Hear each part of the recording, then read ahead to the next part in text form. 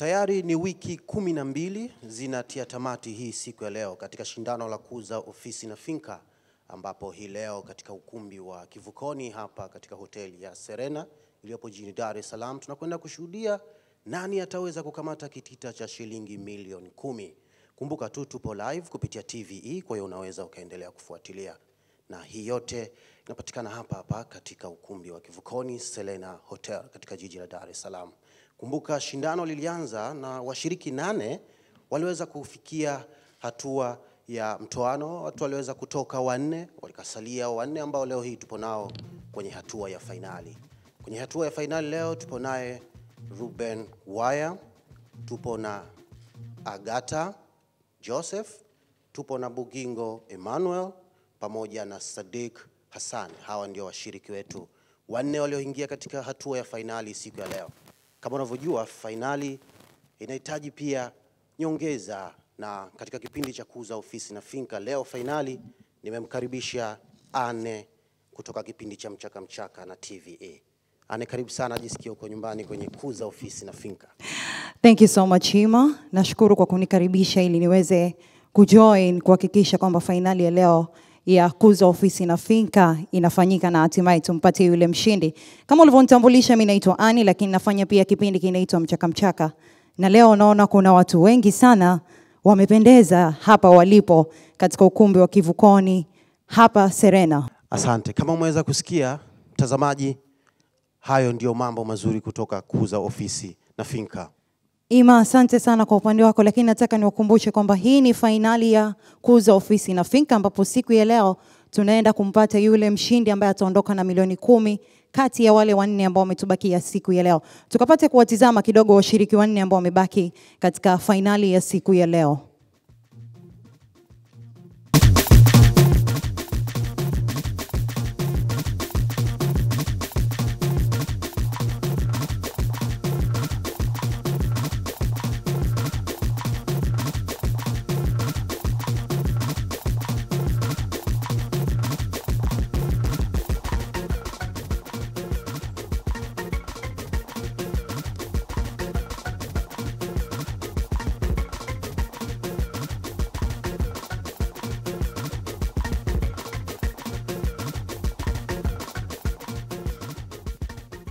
Emmanuel, hao ni washiriki wetu wanne, lakini tukapate kuwapitia mmoja mmoja ili tukapate kuwafahamu, lakini kufahamu zile namba zao za ushiriki ambazo zitatuwezesha kuwapigia kura na hatimaye kumpata mshindi. Tuanze na Agata Joseph. Aa, katika siku ya fainali nimejipanga vizuri.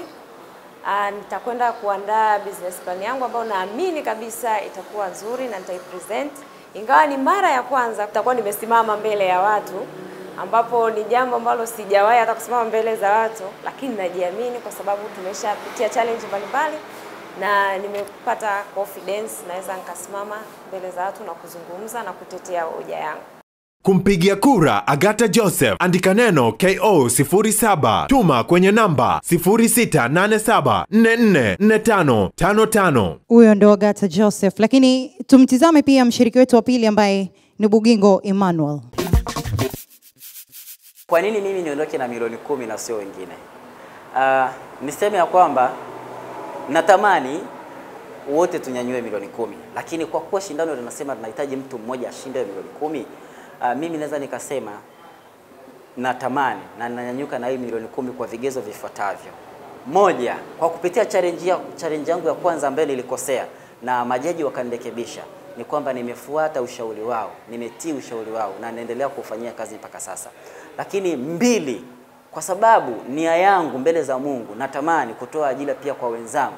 Kwa hiyo na jinsi ambavyo ninavyoifanya hii challenge, ninaamini ya kwamba Mungu atanisaidia nitaweza kunyanyuka. Lakini tatu, kwa sababu nimepitia mafunzo mengi, nimejifunza vitu vingi ambavyo vinahusu hii challenge.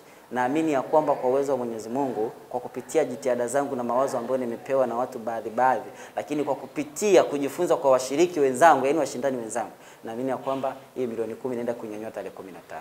Kumpigia kura Bugingo Emmanuel, andika neno KO 03, tuma kwenye namba 0687444555. Mshiriki anayefuata ni Ruben Ngwaya, tukamtambue na yeye.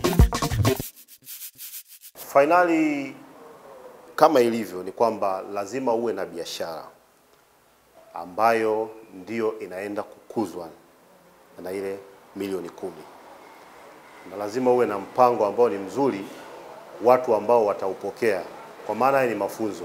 Mpango wako ukawafundishe na watu wengine kwamba kuna sehemu nikipitia na mimi naweza nikajifunza nikafanya kitu hichi, na mpango ambao utakupa maendelezo kwamba sehemu ukikosea unakuja unauangalia mpango, wapi nimekosea na wapi uendelee. Ndio jiwe langu la fainali la kuchukua milioni kumi. Kumpigia kura Ruben Waya, andika neno KO 06, tuma kwenye namba 0687444555. Mshiriki wa tatu huyo na mshiriki wa nne katika shindano la kuuza ofisi na finka hii leo ni Sadik Hassan. Nimejipanga vizuri kwa sababu nilikotoka mbali, hapa nilipofikia milioni kumi naiona kabisa ipo mbele yangu. Kwa hiyo siwezi nikafanya uzembe. Cha kufanya nitachukua challenge niliyopewa na majaji, nitaifanya kwa umakini, endapo hata nitakapoirudisha kwa majaji wasiwe na kipingamizi juu yangu, moja kwa moja nipate kama ni max kumi kumi kumi kumi, mimi moja kwa moja nanyakua milioni kumi. Kumpigia kura Sadiq Hassan, andika neno KO 05, tuma kwenye namba 0687444555. Ndio washiriki wetu wanne tulionao hii leo kwenye fainali ya shindano la kuuza ofisi na finka. Kumbuka leo milioni kumi itaenda kwa mshindi ambaye atafanya vizuri. Nipo na watu ambao wamekuja kutazama fainali hii. Kaka, jitambulisho, unaitwa nani? Naitwa Daniel Mjinja. Nimekuona unafuatilia kwa umakini sana. Kuna jambo gani ambalo we unasema eh, hili finka wamefanya? Ya, kwa hili shindano ni kitu kizuri sana kwa sababu hao na wajasiriamali wadogo ambao wanahitaji kuendelea. Kwa hiyo Finka wamefanya jambo zuri sana, na niko hapa kushuhudia, tuone hao ambao washiriki atatoka nacho kitita ambacho naamini kitamsaidia katika kukuza biashara yake na kuongeza ajira zaidi na kuimprove maisha yake. Asante sana. Kumbuka haya yote yanafanyika katika kipindi hiki ambacho Finka wanasherehekea kutimiza miaka ishirini tangu kuanza kutoa huduma kwa Watanzania. Emmanuel, lakini kabla tujaendelea au tukaanza rasmi shindano letu la siku ya leo, tumtambue pia mgeni rasmi aliyealikwa siku ya leo, naibu waziri wa kazi, vijana pamoja na ajira, Mheshimiwa Anton Mavunde. Karibu sana, naomba msaidie kumpatia mic ili nizungumze naye mambo mawili matatu, kwa sababu leo atakuwa na sisi mpaka pale utakapompata mshindi wa milioni kumi. Habari yako mheshimiwa? Salama kabisa. Mzima? Namshukuru Mungu. Ah, bwana we kijana, ongea tukusikie sisi. Namshukuru Mungu. Tumekukaribisha leo ili uweze kuwa nasi katika fainali hii, lakini naamini pia we ni kijana ambaye umetazama shindano la kwanza la kuwawezesha wajasiriamali wadogo ndani ya Tanzania. Ukiwa kama kijana, hebu tupe kidogo mawazo yako juu ya shindano hili. Kwanza nimefurahi sana na wazo hili zuri kabisa la Finca Microfinance Bank kuhakikisha kwamba inakuza na kuwaendeleza wajasiriamali hasa wadogo ili kuweza kufikia mafanikio, na naamini kabisa kupitia utaratibu huu na ushindani huu tutaendelea kuwakuza wajasiriamali wengi zaidi na kuwafanya wengine wajitahidi kuweza kufikia mafanikio zaidi, na naamini ni msingi mzuri, na kupitia fedha hizi naamini kabisa mshindi ana uwezo wa kubadilisha maisha yake na akawa mfano katika jamii. Asante sana jamani. Ima, Naam. leo natumaini tuna uwezo wa kumpata yule mshiriki ambaye ataondoka na milioni kumi kamili kutoka kwa Finka ili ikaweze kumwezesha kukuza ule mpango biashara wake ambao atatuletea siku ya leo. Hakika Finka haitasahaulika kwa mshiriki ambaye leo hii ataibuka na kiasi cha shilingi milioni kumi. Lakini washiriki ambao leo tupo nao hawajatokea tu hivi hivi, kuna safari walifanya mpaka kufikia hapa tulipo hii leo. Twende tukatazame safari ya washiriki hawa. Hii ni safari ya washiriki wa kuuza ofisi 2018.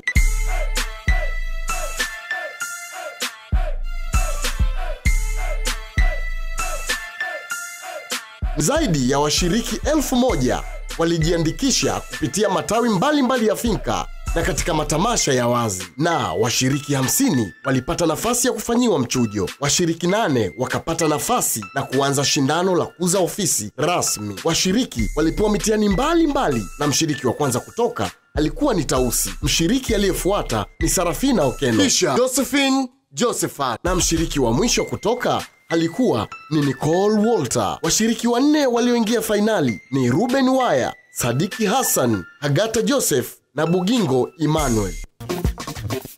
Hao ndio washiriki na safari yao iliwafikisha katika hatua hii ya fainali siku ya leo. Lakini wakati huu Ima, mimi na imani kubwa sana, kuna Mtanzania ambaye bado anatamani kumwezesha yule ambaye anatamani aondoke na milioni kumi siku ya leo Ni kweli, aweze kuipata. ndio. Sasa nikwambie, bado una uwezo mkubwa wa kupiga kura kwa wingi uwezavyo, ili yule ambaye unatamani aondoke na milioni kumi aweze kuondoka nayo siku ya leo. Unaenda kwenye sehemu ya kuandika ujumbe mfupi wa maandishi kwenye simu yako. Anza kwa kuandika neno KO ikifuatiwa na namba ya mshiriki. Kwa mfano, Ukihitaji kumpigia kura Bugingo Emmanuel, namba yake ni KO 03. Lakini pia ukihitaji kumpigia kura uh, Sadiki Hassan, namba yake ni KO 05. Na kama wewe utampendelea zaidi Ruben Waya, namba yake ni KO 6. Wakati ukimhitaji Agata Joseph, namba yake ni KO 07. Lakini hizi zote utatuma kwenda namba 0687 444 555. endelea kupiga kura mara nyingi uwezavyo, ili uweze kumsaidia yule ambaye unatamani ashinde aweze kufikia lengo, na yeye pia aweze kubadilisha maisha yake kupitia Kuza Ofisi na Finka elfu mbili na kumi na nane. Lakini wakati tunaendelea kupiga kura, wakati huu tuangalie msimamo wa kura wa washiriki wetu walioingia kwenye fainali ukoje kwa sasa. Bugingo Emmanuel yeye anaongoza kwa asilimia eh, Bugingo Emmanuel yeye ndiye anayeongoza katika asilimia kwa muda huu. Tutakuja tuzione hapa asilimia za Bugingo Emmanuel ni asilimia sabini na tano nukta sita. Kwa hiyo bado unayo nafasi ya kumwongezea zaidi kura Bugingo Emmanuel, lakini pia anafuatiwa na Agata Joseph, yeye ana asilimia kumi na sita kama ambavyo umeweza kuona hapo. Agata Joseph ni mshiriki anayefuata kwa kura baada ya kutanguliwa na Bugingo Emmanuel. Agata Joseph yeye ana asilimia kumi na sita. Yupo mshiriki anayefuata pia tutazame kura ambazo wamezipata mpaka sasa, lakini bado unao uwezo wa kumwongezea kura kwa kuendelea kumpigia kura kwa kukumbuka ile namba yake ya ushiriki. Unaenda kwenye sehemu ya ujumbe mfupi wa maandishi, unaandika KO, alafu unaendelea kumpigia kura. Anayefuata ni Ruben Ngwaya, lakini anayewafuata sasa, yule wa nne kati ya washiriki wetu wanne ni Sadik Hassan ambaye pia tutaona kura zake ambazo anamiliki mpaka sasa, ana asilimia sifuri moja. Kwa hiyo unaweza ukaendelea kubadilisha matokeo hapo ulipo sasa hivi kwa kuendelea kumpigia kura mshiriki ambaye unatamani aweze kuongoza siku ya leo. Mimi na imani kuna mtu humu ndani anaweza kaa ameshafanya utabiri wake wa kuhisi kwamba nani anaweza kuondoka na milioni kumi siku ya leo, lakini nikwambie Watanzania ni watu wasiotabirika. Muda wowote hizi tulizoziona zinaweza kubadilika, na yule ambaye hukumtegemea anaweza kuondoka na milioni kumi siku ya leo ndo akaweza kuondoka na milioni kumi. Lakini kunapokuwa na shindano lolote, kuna Ndiyo. watu ambao wanakuwa ni muhimu sana kuliwezesha shindano liweze kuwa shindano. Kama kwenye mpira hao ni marefari wale, Eh, lazima basi. wawepo wa- waamuzi, Sisi pia tumezingatia hiyo itifaki ya kuwa na waamuzi. ndio Tuna majaji wetu kwa siku ya leo ambao hawa watatuwezesha kulisimamia shindano zima la Kuza Ofisi na Finka fainali tuweze kumpata mshindi. Tuanze na Chief Judge. Chief Judge Huyu ni bwana Nicholas George, lakini Nicholas kabla hatujamkaribisha John. naomba tumtambue kwamba Nicholas George ni nani. Mimi naitwa Nicholas John. Naweza kusema kwamba nina uzoefu wa kutangazia biashara makampuni mbalimbali mbali wa takriban miaka kumi sasa. Mshindi wa, mshindi wa Kuza Ofisi na Finka, na kikubwa ambacho inabidi unacho nacho kwanza ni ubunifu, ubunifu wa kwamba kujua kwamba kuna changamoto mbalimbali zinazomzunguka mjasiriamali, lakini je, atatumia namna gani ya kuhakikisha kwamba anafikia mipango yake na ndoto zake. Hilo nadhani ni la kwanza, lakini la pili pia ni nidhamu, nidhamu ya kuhakikisha kwamba ana, anafanya yote ambayo yanahitajika ili kuweza kufikia mipango yake. Kingine ningependa kuona mshiriki ambaye uh, biashara yake inaweza kukua na ikasaidia watu wengine, lakini kubwa kuliko yote nataka nione yule mshiriki ambaye anatuwakilisha Tanzania wengi ambao tunaamini kwamba mafanikio yapo na inaweza kupatikana. Naamini mshindi wa shindano hili la Kuza Ofisi inabidi awe na mpango ambao ni endelevu, kwa maana kwamba ni tunahitaji biashara ambayo mwakani au baada ya miezi minne mitano baada ya kuwa ameshinda, utaona biashara yake ikikua na inaweza ikakua na kuwasaidia wengine na kuwa, hata kupata nafasi ya kuajiri watu wengine. Kwa ninge mimi nadhani labda kikubwa ambacho ningependa kukiona kwa mshindi wa shindano hili ni kuwa na biashara ambayo ni endelevu na inaweza ikasaidia kwa kuajiri watu wengine na kuongezea kipato. Komradhi, nilikosea, sio Nicholas George na Nicholas John. Bwana Nicholas, Nicholas John, Chief Judge. karibu Karibu Chief Judge wetu, Makofi kwa Chief Judge. karibu ukakae. Ukishakaa tutaongea mawili matatu, kwa sababu leo umependeza, si kawaida yako. Simaanishi kwamba upendezagi siku nyingine, Huyo huyo ni kawaida yake huyo, ila leo amezidi bwana eh? Bwana Nicholas, mmoja atafika hapa habari yako? Salama kabisa. Nani kakupendezesha leo? Bwana Ima, tuletee jaji wetu wa pili. jaji wa pili ni Judge Catherine Ngogi, lakini kwanza tumtambue yeye amekidhi nini mpaka kuwa naye katika fainali hii. Judge Catherine. Naitwa Catherine Charles Ngongi, ni mjasiriamali wa duka la nguo za kike na home decorations. Nilianza miaka tisa, miaka tisa au nane iliyopita, nilikuwa bado nasoma. Nilipoanza ilikuwa ni ilikuwa ni kama kupata hela ndogo ndogo pocket money and all that, ili nisi nisiombe sana nyumbani, kwa sababu nilikuwa nahisi kama nina mahitaji mengi ambayo sio mara zote naweza nikawarudia wazazi nikafanya. Kwa hiyo ilikuwa ni kama kitu cha temporary, lakini baada, ya muda nikagundua kinaniingizia kipato, nikawa interested. Kwangu mimi, yani nimekuwa na changamoto nyingi nyuma changamoto zilikuwa nyingi kuliko sasa hivi, lakini sasa hivi naamini kwamba sio kwamba changamoto hamna, lakini labda kwa sababu nina experience, nimekuwa nimekuwa kiakili, kiakili nimekuwa kiumri. Kwa hiyo with time unaweza ukapambana na vitu vingi. Mimi mshiriki wangu kidogo huwa niko obsessed na watu wanaofanya kazi kwa bidii, yani fighters, yani ambaye hachoki. Kwa mshiriki wangu, sifa ya kwanza awe mpambanaji. Huyo ni Judge Catherine Ngongi. Karibu sana Judge Catherine. Umemwona huyo? Nimemuona, Umemuona? yaani amepambana ili aweze kunifunika Eh, na umefanikiwa. Catherine, umefanikiwa kwa kweli. Sasa sijui nimwachie kazi yangu leo, Ah, mwache akae kwenye jukumu lake. lakini naomba nimkumbushe yule mtazamaji ambaye anaitazama TV yake akiwa nyumbani. Tuko live kutoka ukumbi huu wa Kivukoni hapa Serena Hotel, lakini pia hili ni shindano la kwanza au ni fainali ya kwanza ya kuuza ofisi na finka, na tutaendelea kufanya mengi sana kwa Eh, sababu Afinka wametuahidi tutaendelea sana kwa sababu lengo lao ni kuwainua watu wa hali ya chini waweze kufikia malengo, na ukumbuke kwamba yote haya yanafanyika ni katika kusherehekea miaka ishirini ya Finka tangu anze kutoa huduma. Leo tutayaona mengi sana hapa. Kuna watu wamesaidiwa sana na Finka kufikia mafanikio. Tuletee jaji namba tatu. Emmanuel Judge namba tatu, huyu naweza kusema ni mtu mtata sana, lakini simaanishi mtata kwa ubaya, ni mtata kwa kile anachokitaka kiende vizuri. Anaitwa. Jeffrey Jesse. Kabla sijamkaribisha, naomba tumtizame kidogo. Mimi kwa jina naitwa Jeffrey Jesse, natokea Specials Tanzania, ama Specials Group of Companies. We, tuna, tuna ni kampuni ambayo inadili deal na nguo. Tuna maduka ya vitambaa. All of this nakuwa ukiangalia zina lead kwenye kitu hiki kimoja, nguo. Kwenye shindano la kuza ofisi na finka, my ideal mshiriki nataka awe na vitu vifuatavyo. Kwanza, nahitaji awe creative ili uweze kufanikiwa kwenye kitu chote unachokifanya. If you're not creative, huwezi ukafaulu. Pili, nahitaji awe na discipline ya kuweza challenge yoyote anayopewa aweze kuitako kwa akili, asitako kumaliza. Nahitaji mshiriki wangu awe na that element of timing, ajue umuhimu wa muda ni nini kwenye kila kitu unachokifanya. How do you put time?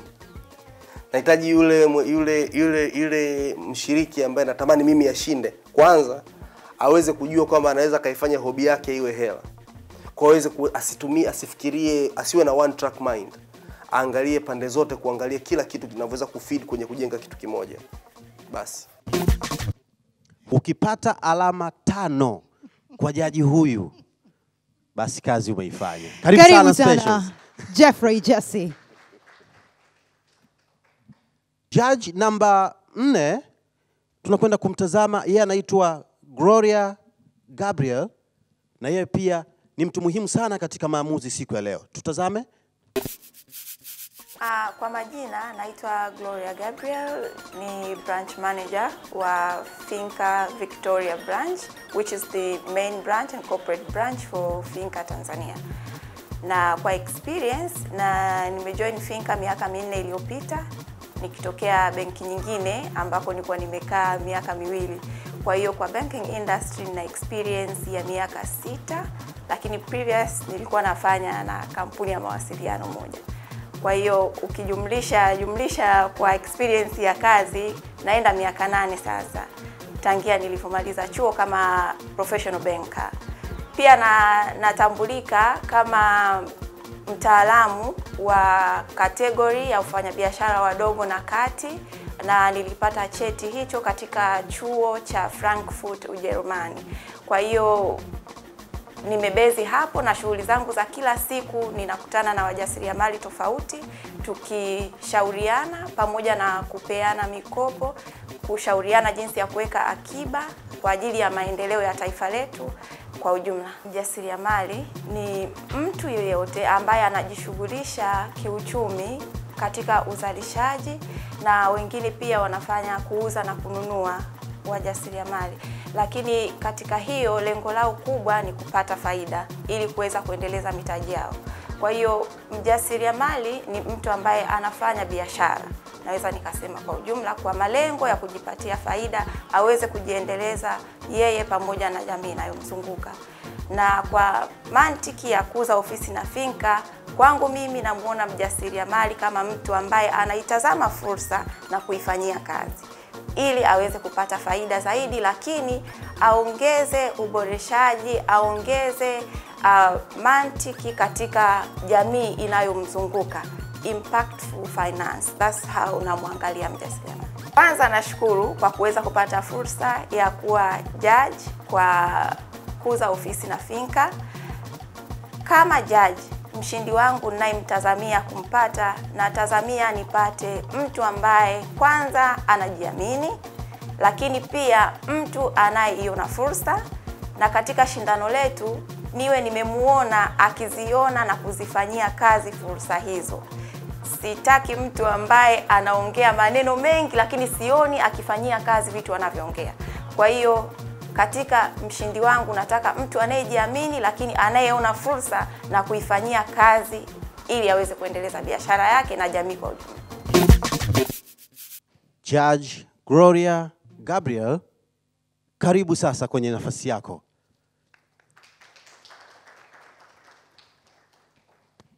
Kiukweli majaji wetu ndo hawa Imo, Ndio.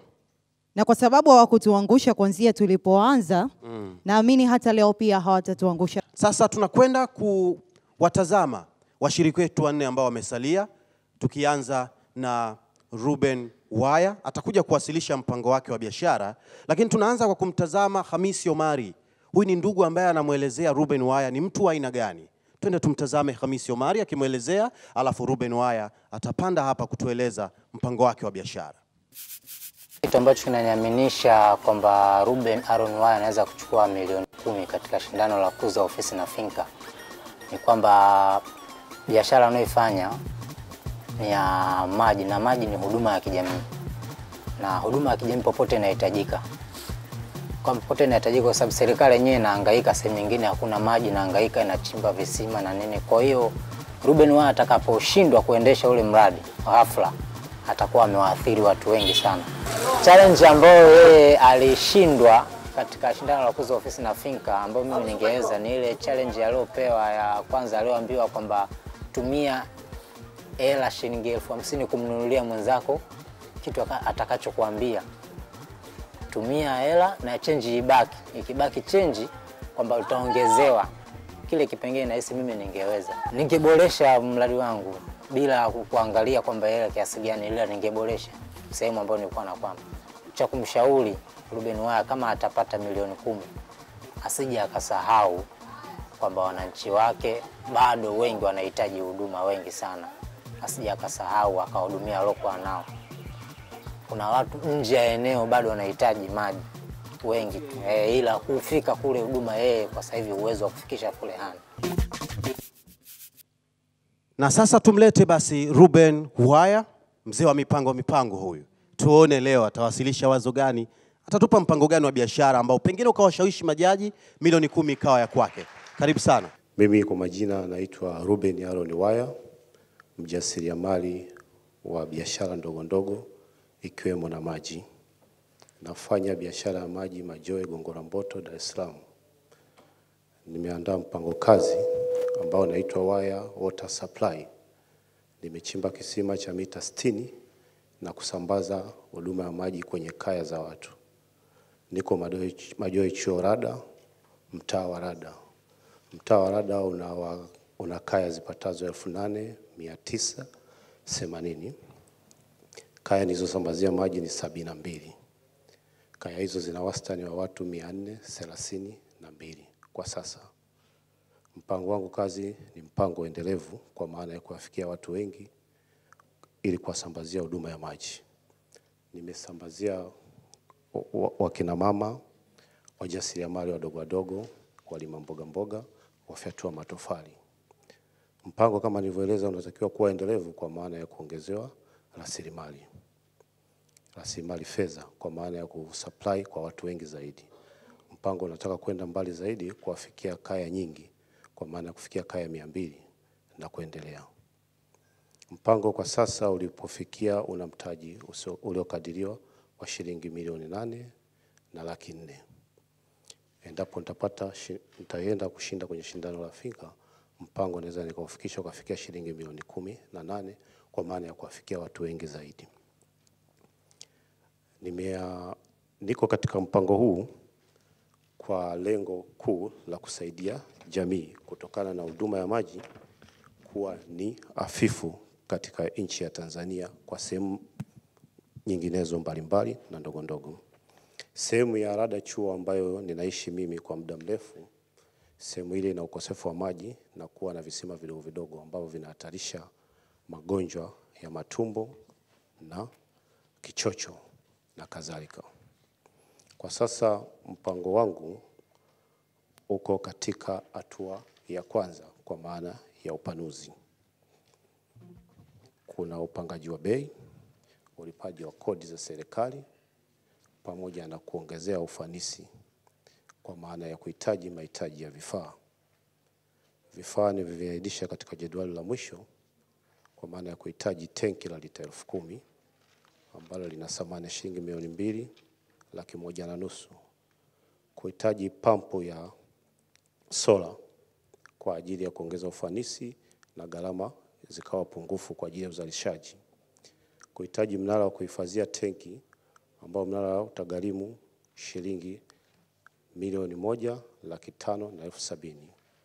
Kuhitaji roller pipe ambazo zitakuwa na urefu wa mita mia tisa ambazo zitagharimu shilingi milioni moja laki tatu na elfu kumi na tano kuhitaji ufundi wa mnara ambaye itakuwa na gharimu shilingi laki tano na elfu themanini. Kuhitaji kokoto ambazo ni tani saba shilingi laki moja na elfu themanini. Kuhitaji mchanga kwa ajili ya ujenzi wa mnara ambao utagharimu shilingi laki mbili na elfu arobaini. Kuhitaji pesa laki moja na sitini kwa ajili ya kusafirisha vifaa kupeleka eneo la mradi. Mradi kwa sasa unasaidia jamii kwa namna mbili, tatu au nne. Jamii inanufaika moja kwa moja kwa ujenzi nafuu kwa ajili ya upatikanaji wa maji mapema na kwa masaa ishirini na nne. Jamii inanufaika kiuchumi kwa sababu kuna walimaji wa mboga ambao wanatumia mradi wa Waya Water Supply, kuna walimaji wa, kuna wafatuaji matofali na kuna wafugaji wa kuku mama ntilie ambao wote wanatumia mradi wa maji wa Waya Water Supply. Mradi una mpango endelevu kwa baadaye baada ya kuleta matokeo chanya kwa sasa hivi kwa maana ya kufanya upanuzi, kwa sababu maji yapo. Tuna mpango wa kuongeza kilimo cha umwagiliaji ili kuongeza ajira kwa vijana. Tuna mpango wa ku- ku- kujenga mabwawa ya samaki ili kuongeza ajira kwa vijana. Tuna mpango wa kuweka mabwawa ya samaki aina mbili, samaki wa mapambo na samaki wa chakula. Hii ni baada ya kufanya mpango huu wa sasa kufikia malengo na baada ya kupanuka na kuleta faida, faida ndio itaenda kuwekeza kwenye hiyo miradi mingine. Ni hayo tu kwa leo, nashukuru, asanteni. Mshiriki anayefuata bwana Ima, huyu anaitwa Bugingo Emmanuel, Ndio. naye pia ana ndugu yake ambaye anamzungumzia Bugingo Emmanuel kwa vile ambavyo anamfahamu, na huyu ni Grace Gideon. Kitu kinachoniaminisha kwamba Emmanuel Bujingo anaweza akachukua milioni kumi, kwanza ni mtu ambaye naamini kwanza tokea ameanza hili shindano alikuwa ana jitihada, alikuwa ana, anashiriki vizuri, japokuwa alikuwa anapitia changamoto mbalimbali, lakini amejitahidi sana mpaka kufikia sasa hivi, na ni mtu ambaye anaonekana ana moyo kwamba ana, a, kile ambavyo anafanya mashindano anaweza akachukua hiyo milioni kumi, na ni mtu ambaye hakati tamaa kwa kweli ni amekuwa amejishughulisha katika zile kazi walizokuwa wanapewa, alikuwa makini na kazi zake. Kwa hiyo kwa kupitia hivyo vitu naamini anaweza akachukua hiyo. Huyo ndo ndugu yake na Bugingo Emmanuel, lakini wakati huo tumkaribishe Bugingo Emmanuel ili naye atupe mpango biashara wake aliyotuandalia siku ya leo. Bugingo, karibu sana Bugingo. Ah, Bugingo Emmanuel. Umependeza kweli leo, Eh. Leo tunakomoana tu ndani hapa. hatukomoani tunanyooshana. Mzigo umefika kwa wakati na gharama nafuu. Hiyo ni kauli mbiu ambayo EPC Company inatumia. Kauli hii mbiu inafanya au inaifanya kampuni kukua au watu kuiamini. Hii kampuni ya EPC Company imeanzishwa mwaka elfu mbili na kumi na saba. Lengo mahususi la kuanzisha kampuni hii ni kujikimu au kuweza kupanua wigo kwa ajili ya usafirishaji wa mizigo. Aa, kampuni hii ilianzishwa pindi tu mmiliki anayejulikana kwa jina la Emmanuel Bugingo alipokuwa anafanya kazi katika kampuni ya usafirishaji. Mara kampuni hiyo ilipofungwa elfu mbili na kumi na saba, Emmanuel Bugingo aliamua kuchangamkia fursa mara baada ya kutafakari kulingana na ugumu wa ajira afanye kitu gani. Ndipo Emmanuel Bugingo alipoamua kuendeleza ule wigo, kwa sababu tayari alikuwa na ujuzi wa usafirishaji wa mizigo, ndipo alipoamua kuendeleza huduma ya usafirishaji wa mizigo. Kampuni hii ya usafirishaji wa mizigo inayojulikana kwa EPC Company inayo maono. Maono au mikakati ni kupanua wigo mkubwa, yaani kufanya biashara kwa kulingana na kutoa huduma iliyopo hususan ya kiteknolojia, nikimaanisha kwamba kulingana na hali ya sasa hivi watu wengi wanafanya wanafanya huduma kupitia online, yaani anaoda mzigo anapelekewa alipo, akiwa Mwanza au akiwa sehemu nyingine, anaoda mzigo anaweza kupelekewa, na tunazingatia mambo makuu. Tunazingatia wakati wa kuchaji huduma zetu, kwanza tunazingatia kuchaji bei nafuu, kwa sababu kampuni za usafirishaji zipo nyingi, hivyo ni lazima tuzingatie kuwa na bei ambayo ni rafiki kwa mteja, lakini vile vile tunazingatia uthamani wa mzigo, nikimaanisha kuna mizigo mingine ambayo ina thamani kubwa, hususan kama laptop kama nini tunaangalia. Lakini kwa nini utumie EPC company kusafirisha mizigo, usitumie kampuni zingine? EPC company ni kampuni ambayo imejipanga kulingana na ushindani. EPC company ni kampuni ambayo ina mawakala, naweza nikasema maagent sehemu tofauti tofauti, lakini EPC company haiangalii ni mzigo wa aina gani, isipokuwa ni mzigo hatari tu ambayo ndio haiwezi kusafirisha, lakini ile mizigo ambayo inaweza kusafirishika EPC company inasafirisha. Lakini vile vile EPC company ina bima, nikimaanisha kwamba kuna mizigo ambayo kuna wakati tunapata majanga, unaweza kusema kwamba gari limeharibika aidha mzigo usifike kwa usalama, kwa sababu sisi pia ni binadamu na anayetumia kusafirisha mzigo ni binadamu. Kwa hiyo PC company ina bima. Kwa hiyo tunachokifanya, mteja anapoleta mzigo wake, tunamwambia alipie asilimia kumi ya huo mzigo ili kuulinda mzigo wake ufike kwa usalama. EPC company leo tumekuja katika shindano la kushindania milioni kumi. Lengo la kushindania hiyo milioni kumi ni kupanua, kupanua wigo, kupanua wigo katika biashara zake kuongeza huduma zake, lakini EPC company inayo mikakati mikubwa katika hii milioni kumi. Nimetenga au kampuni imetenga kulingana na muda, kampuni imetenga mtaji na mgawanyiko wake. Mtaji katika vitendea kazi, nikimaanisha mtaji katika vitendea kazi, kuna viti thamani zile za ofisini ni milioni moja na laki sita, lakini vile vile ni mtaji wa kuzungushia ni milioni tano na laki sita. Huu mtaji wa kuzungushia ndio umebeba kwa sababu ni kampuni ambayo bado haijakomaa, inatamani ifike sehemu husika, sehemu fulani, inatamani ipanuke, itoke zaidi na nje, ikiwezekana hata nje, nje ya Tanzania. Kwa hiyo milioni, ta, laki, milioni tano na laki sita itaisaidia kampuni au hii itaweza kusaidia kuweza kupanua wigo, nikimaanisha kwamba pia kuweka kuweka mawakala mikoani au ndani ya Dar es Salaam kuwafikia wateja wote, lakini kulipia frame na kadhalika. Kwa hiyo hiyo milioni tano na laki sita itasimama hapo, na hii milioni tano na laki sita itatusukuma ndani ya miezi mitatu. Hatutaweza kuchukua sehemu nyingine kulingana na mauzo kuweka, kwa sababu tayari tuna milioni tano na laki sita, lakini mtaji wa kuanzishia biashara ambayo ni milioni mbili na laki nane wakati biashara inaendelea tunapasa tu na milioni mbili na laki nane.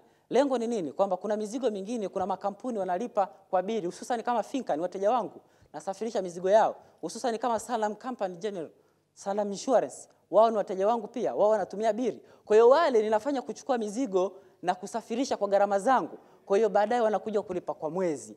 Kwa hiyo sasa ni lazima niwe na mtaji, kwa hiyo nimetenga milioni mbili na laki nane ndipo sasa nitakuja kujumuisha majumuisho yote itakuwa ni milioni kumi. Ukiangalia kwenye jedwali langu linasema jumla ya mtaji inayopaswa kuwa nao ni milioni kumi na tatu na laki nane. Hii, hii milioni tatu na laki nane nitaipata vipi? Na hii milioni tatu ni ya nini? Hii milioni tatu na laki nane nime, kwa sababu kamp, mi, kampuni yetu ni ya kufikisha, kufikisha mizigo kwa wakati, kwa hiyo lazima tuwe na pikipiki.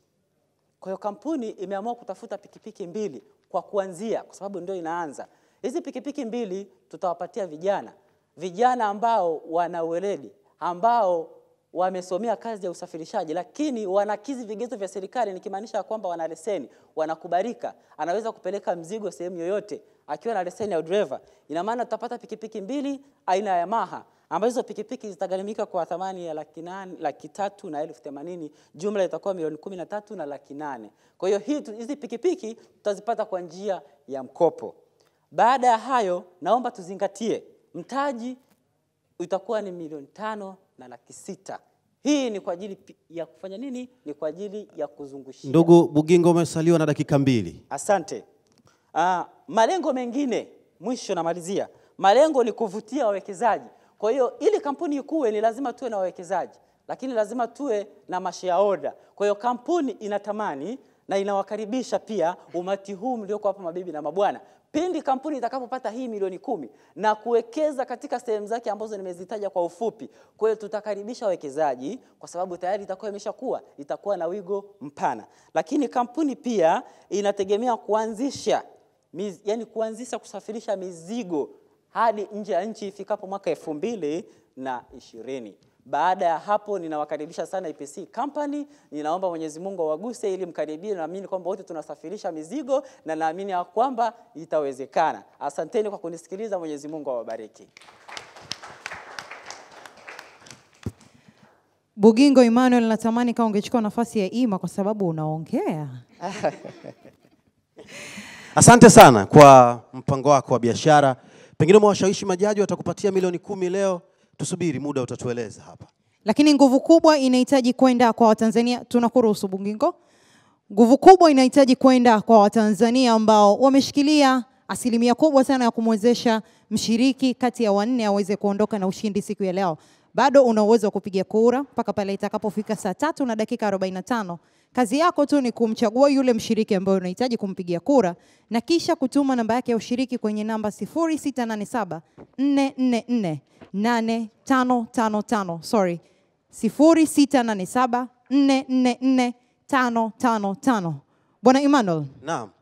tumeona washiriki wetu wawili, lakini mi nadhani kuna kitu kama mpaka sasa hivi watu wanatamani kukiona. Eh, hii mipango ni mizuri ila kunatakiwa kija kitu kizuri zaidi ya hii mipango. Ewa. Ani anatuletea mshiriki mwingine ambaye tunakwenda kumtazama. Lakini kabla sijamleta mshiriki anayefuata ambaye ni mshiriki wa tatu, niwaambie tu kwamba shindano hili la kwanza la kuza ofisi na finka lilianza na watu wengi, lakini waliingia watu nane awamu ya mwanzoni, na mimi kama mwanamke, wanawake waliingia watano katika shindano hili wakiwa na wanaume watatu. Nilijivunia sana nilipotizama lile shindano Ndiyo. lakini tumebahatika kubaki na mwanamke mmoja peke yake na ambaye ndo ninayowaletea kwa wakati huu. Huyu ni Agatha Joseph, lakini kabla sijamleta hapa, naomba nimlete ndugu yake ambaye huyu ni Sofia Mshagama, anamzungumzia Agatha Joseph. Mm, kitu ambacho kinaniaminisha kwamba Agata anaweza ku, kushinda ni kwamba Agata ni msichana ambaye anajiamini sana. Nimemfahamu kwa muda mrefu, mtu ambaye anapigana sana. Kwa jinsi alivyopigana naweza, na, naweza kusema ana, anaweza kwa sababu kwa mfano e, alipokuwa na biashara yake ya chakula e, kukapita zoezi la kubomoa kutokana na ujenzi wa barabara ya Morogoro na akabomolewa, lakini hakukata tamaa, akasogea tena pembeni, akaweka kibanda cha hovyo hovyo, lakini nia yake ni kutoa huduma na kutimiza lengo lake la, la kazi yake ya kutoa huduma ya chakula kwa watu. Nachomshauri zile milioni kumi azitumie vizuri, akuze mtaji kama ambavyo e, kauli mbiu inavyosema, lakini a- aim zaidi kuajiri ku- wenzake wengine wapate ajira kupitia yeye, ili wajifunze mpaka hapo walipofikia na wao waweze kutoka. Fursa ziko nyingi, yaani ningependa wasichana na vijana wa kiume wengi kupitia Agata waweze kutoka, sababu Agata alikuwa chini sana, lakini sasa yuko juu sana. Mimi nina uhakika akipambana hivyo hivyo, akimtanguliza Mungu mbele kama tunavyoongea siku zote, akipata knowledge ya mafunzo mbalimbali short courses hizi ya biashara, atasonga mbele sana, na ule mgawa mga wake akipasika, yani utakuwa ni mga, itakuwa hoteli. Kwa sababu na, na, baada ya barabara hii najua huku Kimara Mbezi kutakuwa kumepanda hadhi, watu watakuwa wengi, kwa hiyo atakuwa na wateja wengi sana na atakuwa mfanyabiashara mkubwa na mfano kwa vijana wenzake wa umri wake. Mi nimeona wengi sana mmetabasamu, lakini najua ni kwa sababu tu ya ile misosi ilikuwa inapita hapa. Eh, kwa Eh? muda huu utamani. Joseph, karibu tupe mpango biashara wako. Makofi sana Agata Joseph.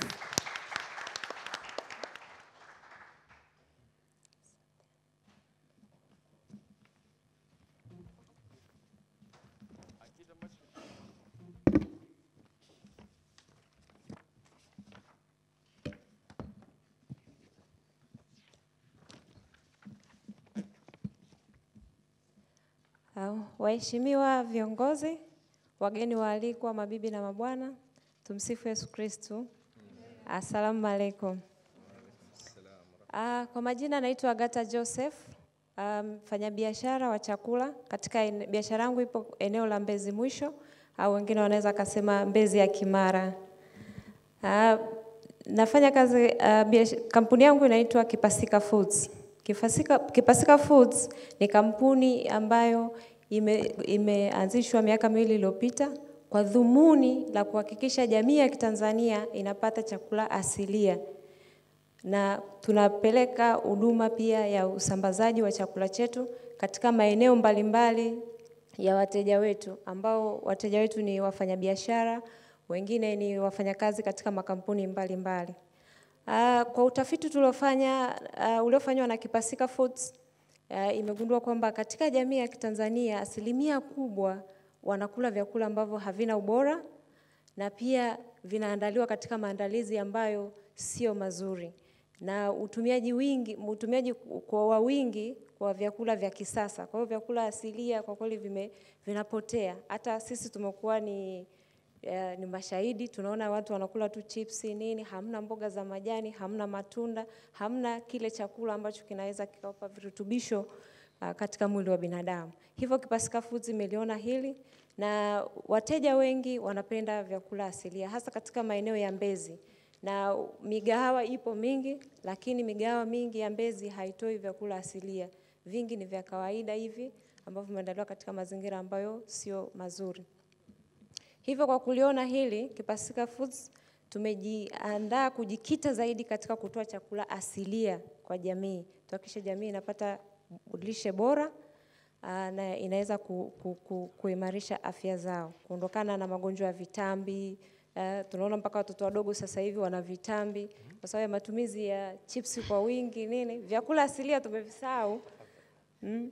Kwa hiyo Kipasika Foods itatoa vyakula asilia kama michemsho ya samaki, uh, tutatoa uh, michemsho ya samaki, viazi, majimbi, uh, kuku wa kienyeji, mayai ya kienyeji, na hii imejipanga, hizi huduma tutazipata uh, kupitia wa, mi, nani mitandao yetu ambayo tumejipanga kuiweka mikoani ili tuweze kuhakikisha kwamba hivi vitu vya asilia tunavipata. Uh, katika mwaka elfu mbili na kumi na tisa Kipasika imejipanga uh, ili kuhakikisha kwamba tunafikia jamii kubwa zaidi na ikiwezekana ulimwengu mzima, ndio malengo yetu, ili ulimwengu mzima uweze kupata vyakula hivi vya asilia. Hivyo uh, tumejipanga katika upande wa masoko.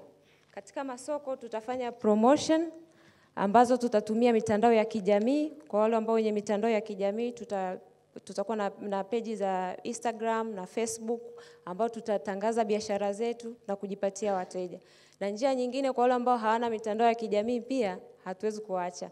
Tutaenda moja kwa moja kwa wateja, kuwatembelea katika makampuni mbalimbali, kutangaza biashara yetu, kuwapa um, um, nani elimu umuhimu wa kutumia vyakula asilia. Ha? Na, na pia tutatembelea magulio mbalimbali katika jiji la Dar es Salaam na kutafanya miadhara ambao tutatoa elimu hiyo na jamii nadhani itafurahia na tutaacha mawasiliano yetu ili tuweze kupata wateja zaidi. Ah, Kwa mwaka elfu mbili na kumi na tisa ambao ni mwaka wa biashara, Kipasika, Kipasika Foods imejipanga ah, tuta, tunataka kuuza wastani wa sahani hamsini kwa siku kwa siku moja tunataka kufikia wastani wa kiasi hicho ambacho tutatumia, tunaweza tukafanya kwa wastani wa shilingi elfu tatu kwa kila sahani, ambao tunaweza kufanya biashara uh, ya shilingi uh, laki moja na nusu kwa siku uh, na kwa mwezi tutaweza kufanya tutaweza kupata laki, kwa wiki tutapata laki tisa, kwa mwezi tutapata milioni tatu na laki sita na kwa mwaka karibu milioni arobaini na tatu. Na yote haya tutayafanikisha kwa kuongeza nguvu katika kuboresha eneo la biashara. Kama wengi mmeona kwenye video yangu, biashara, eneo langu la biashara sio zuri sana, kwa tutaboresha pale. Biashara yetu tutaisajili, itasajiliwa rasmi, itaanza kulipa kodi Ah, na pia tutaongeza nguvu zaidi katika masoko kuhakikisha kwamba tunafanya promotion ya kutosha ili kutupatia wateja wengi zaidi. Ah, Kwa kuhitimisha tu, siongee mengi. Ah, Kila mtu anajua biashara ya chakula. Biashara ya chakula kwa kweli inalipa, lakini jambo ambalo nimeweza kuliona kwa miaka iliyopita, kwa, kwa sababu nimeanza miaka miwili, nimeweza kuona kwamba sehemu gani nilikuwa nakosea, na hii nimetambua kwa kupitia think, nani mafunzo tuliyoyapata kupitia Kuza Ofisi na Finka, namna ya kusimamia fedha. Kwa hiyo sasa hivi tutaenda kuhakikisha tunasimamia fedha vizuri, mapato na matumizi, na hata ile faida ambayo tunaipata kuisimamia vizuri, ili iweze ku, kuwa kwenye flow, isaikuleti vizuri na kuweza kuleta ma, ma, matokeo mazuri na biashara kukua. Kwa kumalizia tu, aa, nashukuru wote, asanteni. Huyo ndo Agata Joseph. Asante sana Agata. Lakini naona pale alipozungumzia vijana wadogo wana vitambi, wengi mlitizama majirani zenu.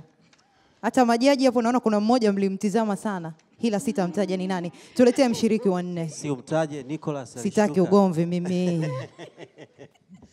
Jamani, bado wewe ambaye unatazama popote pale ulipo kupitia TVE, unaweza ukaendelea kumpigia kura mshiriki ambaye unatamani leo hii yeye ndiye aondoke na kiasi cha shilingi milioni kumi kutoka katika shindano hili la kuuza ofisi na Finka 2018. Finka wanatupenda sana.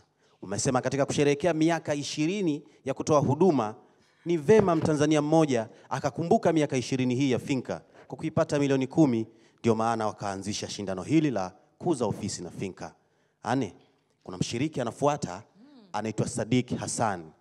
Ukimwangalia hivi unajiuliza kafikaje hapa, lakini kazi yeye pia ameifanya.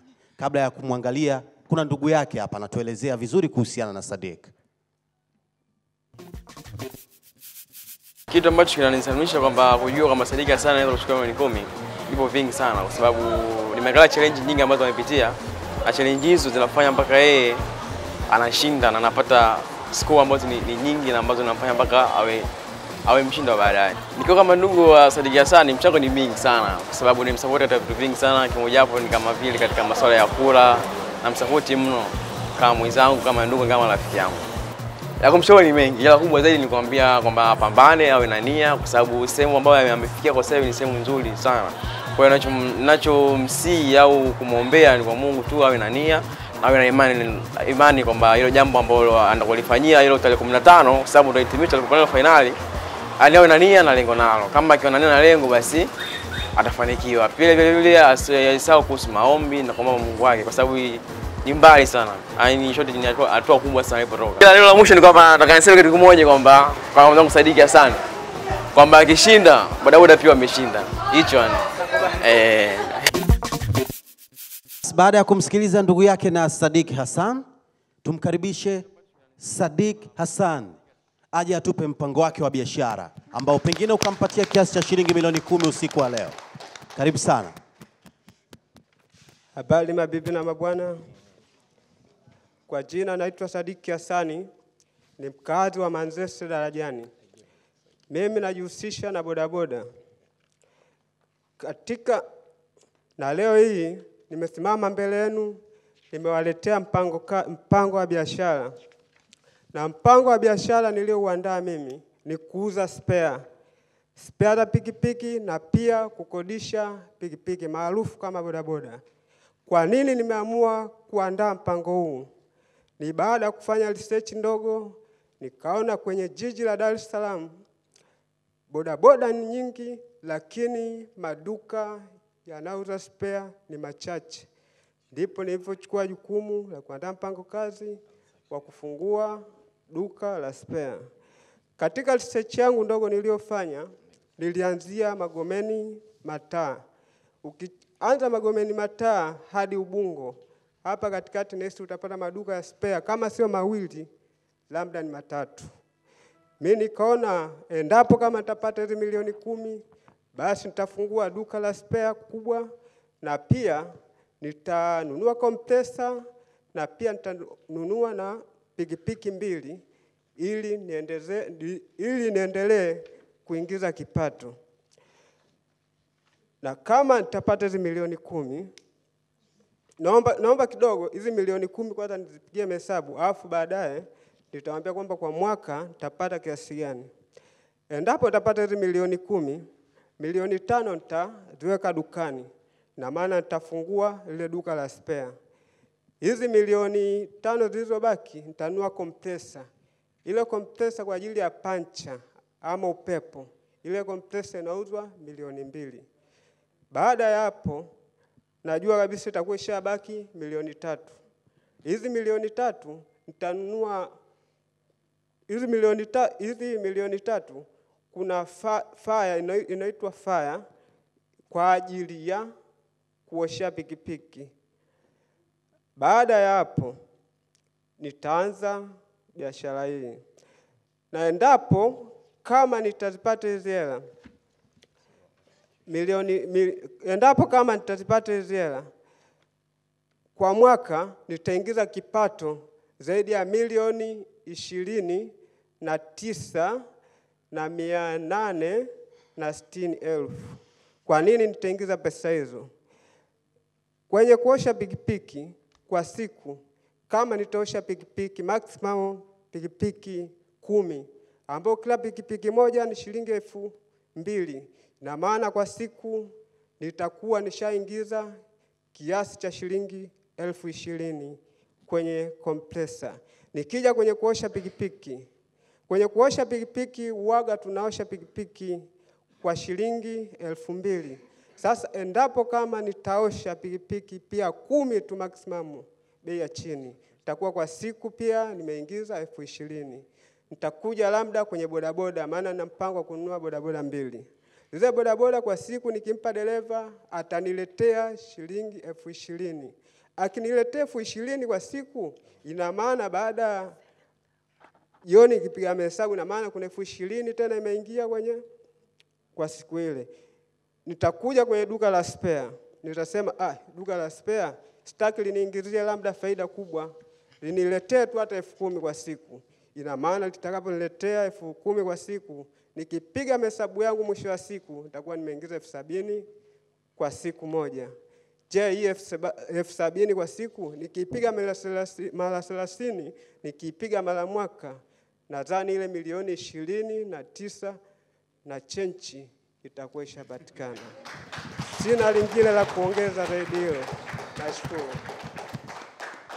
Kama tulivyosema mwanzoni kwamba Finka imetimiza miaka ishirini, tunaona hapo, na naamini kuna baadhi ya watu wanahisi ni two years, lakini it's 20 years ya Finka kutimiza katika utendaji kazi wake. Lakini bado niwakumbushe kupiga kura kwa Mtanzania yoyote ambaye anatamani kati ya washiriki wanne waliotoka aweze kuondoka na milioni kumi ya kutoka Finka siku ya leo. Ukihitaji kumpigia mshiriki yule ambaye unatamani aweze kushinda, unaweza ukatuma namba yake ya ushiriki kwenda namba 0687 444 555.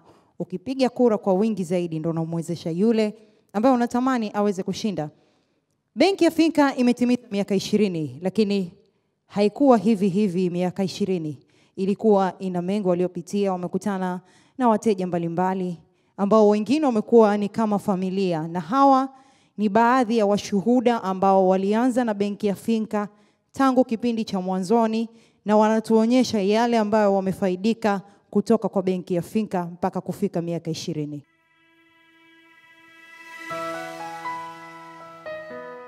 Naitwa Farida Kaniki, shughulisha na ujasiriamali, ni MC na nina mziki wangu. Kipindi tulivyojiunga na Finka 1999 ulikuwa mikopo tunapata kwa njia za vikundi, lakini kwa tunapata mikopo kuanzia laki nne, sita, nane mpaka milioni moja. Lakini tofauti ya sasa hivi mkopo kuanzia milioni moja mpaka milioni tano unaopata ndani ya kikundi na dhamana sisi wenyewe wana kikundi. Mafanikio niliyoyaona kwenye maisha yangu kupitia Finka, ama hivi nimeweza kuwa na nyumba nzuri kabisa. Hata mtu akiniangalia mimi mwenyewe jinsi nilivyo, kimwambia hili ni jengo langu, anaweza siamini. Watu wajiunge benki ya Finka, inatoa huduma kwa watu wa jinsia zote. Huyo ni shuhuda wa kwanza ambaye amekuwa na benki ya Finka tangu imeanza na mpaka wanapotimiza miaka ishirini. Kwa aliyoyasema, nadhani wote tunaona kwamba benki ya Finka ni benki ambayo ni muhimu sana kuitumia ili uweze kufanikiwa katika maisha au katika kile ambacho umekipanga. Tumkaribishe mdau au shuhuda wa pili ambaye naye pia ni mtumiaji mzuri sana wa benki ya Finka, lakini atatuambia yale ambayo amefaidika kutoka kwa benki ya Finka. Mi naitwa Steven Mwijage Mtatina, ni mkazi wa Tegeta Nyuki. Ah, siri mafanikio yangu kwa kweli ni Finka. nimefanyikiwa sana. Nilianza na mtaji kidogo, sasa hivi nina mtaji mkubwa. Ah, Mimi nilikuwa nimeajiriwa kwenye kampuni moja ya ujenzi, nilikuwa injinia. Nimeamua kuacha kuajiriwa, nikajiajiri mwenyewe. Ah, nilianza na biashara ndogo ya kuuza samaki. Nilianza na fuliza moja, lakini sasa hivi na mafuliza kibao na naingiza matani ya matani ya samaki. Kwa kweli wakina baba na washauri waende Finka. Finka sio ya wanawake, Finka ni ya watu wote. Steven Mwijage yeye ana historia na benki ya Finka na umeweza kumsikiliza. Anayefuata ani Anayefuata pia ni shuhuda wetu watatu. Huyu pia ameitumia benki ya Finka, lakini ana yale ambayo amefaidika kutoka kwa benki ya Finka mpaka kufikia miaka ishirini ya siku ya leo. Tumtizame.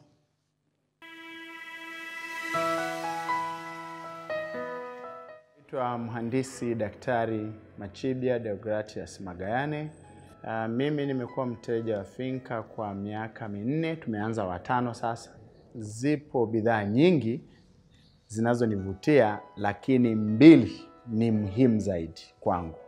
Ya kwanza ni FDR. Hii inanivutia na hasa kwenye kipengele kwamba FDR yangu naweza nikaiongezea kwa kipindi chochote kile. Lakini bidhaa ya pili ni ile ya usalama wa, wa fedha katika akaunti. Miaka ishirini nyuma nilivyoanza na laptop moja kama mtaji wangu. Na sasa mkurugenzi mtendaji wa makampuni ya Wema. Finka ni benki ambayo inatoa huduma zote za kibenki kama kama benki zingine zilivyo.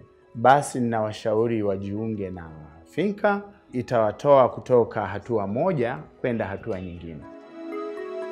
Dr. Machibia yeye ni moja kati ya watu ambao wameanza chini kabisa na benki ya Finka na mpaka leo hii amefikia hatua hii.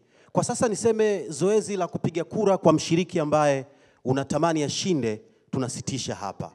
Ili tuweze kutoa nafasi sasa kwa majaji wao waweze kuandaa vizuri alama ambazo wamempatia kila mshiriki, lakini pia chumba chetu cha kuhesabu kura ambazo zilikuwa zinapigwa na Watanzania kwa mfumo wa kisasa kabisa wanaendelea kufanya kazi ili muda mfupi ujao tuje tumtambue mshindi siku ya leo. Finka wamewawezesha watu wengi sana, mashuhuda wapo wengi sana, lakini na kuongezea wengine watatu ambao ukiwatazama utaona kweli Finka imewatoa mbali. Wa kwanza Naitwa Nelson Kaumza na ni mkazi wa Mbezi Jogoo. Ni mwajiriwa katika kampuni binafsi na najishughulisha na ujasiriamali mdogo mdogo. Nimejiunga na Finka miaka mitano iliyopita. Mimi toka nimejiunga na Finka nimeweza kumiliki bodaboda zangu mbili za biashara, nimeweza kumiliki saruni ya kunyoa ya kiume, nimeweza kulipia watoto wangu ada, mmoja akiwa sekondari na mwingine akiwa chuo, hata nimeweza kuanzisha ujenzi wa nyumba yangu. Hapo baadaye ninakusudia kuchukua mkopo wa ada ya shule kwa ajili ya kuwaendeleza wanangu kimasomo. Katika miaka ishirini ya Finka, mimi nawa, naweza kuambia kila mmoja ajiunge na Finka na mafanikio atayaona kwa muda mfupi sana. Nelson Kahumza, lakini yupo pia Shani Isa anatuambia maneno mazuri kutoka uh, kutokana na yeye kuwa mtumiaji wa mwanzoni kabisa wa Finka. Mimi naitwa Shani Isa, mkazi wa Tabata Msimbazi.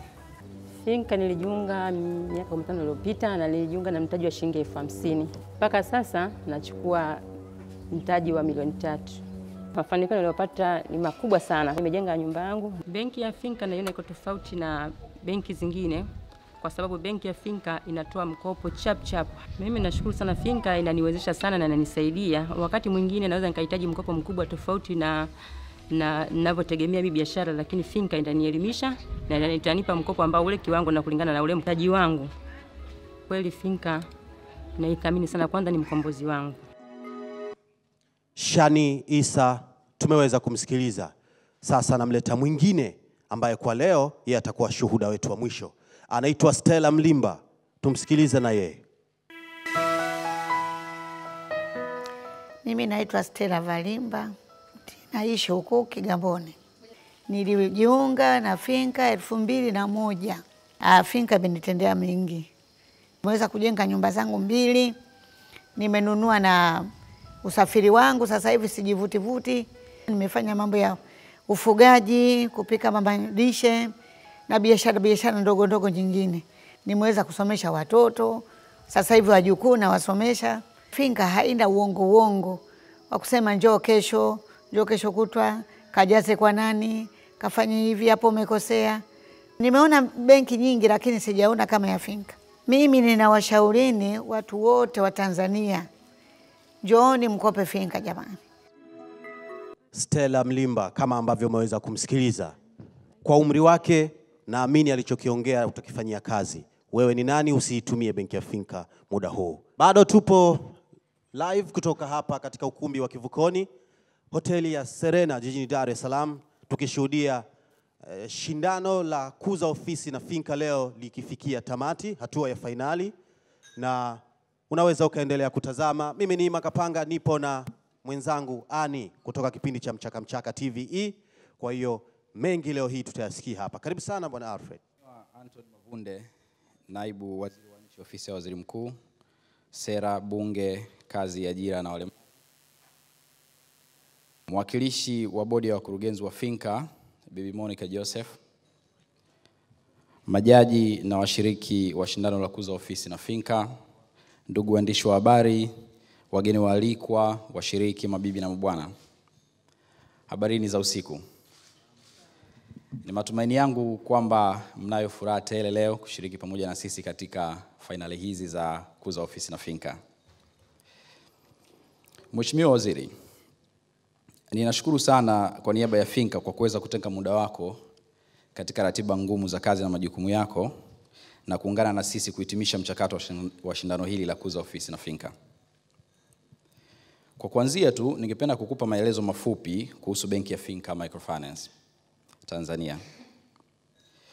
Finca ilianzishwa mwaka 1998 na mpaka sasa ina idadi ya wateja takribani laki moja na hamsini na mbili na mia nane tisini na moja ikiwa na mfuko wa kukopesha wenye kiasi cha shilingi bilioni 67.7 hivi. Jumla ya thamani za fedha ambazo zimehifadhiwa katika benki yetu kwa maana ya deposits uh, katika akaunti za Finka ni takriban shilingi bilioni 43.9 wakati idadi ya wakopaji wanawake ikiwa ni zaidi ya asilimia 53 hadi sasa. Mheshimiwa Naibu Waziri, Finka ilianza kutoa huduma za kuweka akiba kwa umma mwaka 2013 baada ya kupata kibali kutoka Benki Kuu ya Tanzania, ikiwa uh, miaka ya nyuma kabla ya pale ilikuwa ni taasisi ya kifedha tu ambayo ilikuwa haturuhusiwi hasa na serikali kuweza kuchukua amana.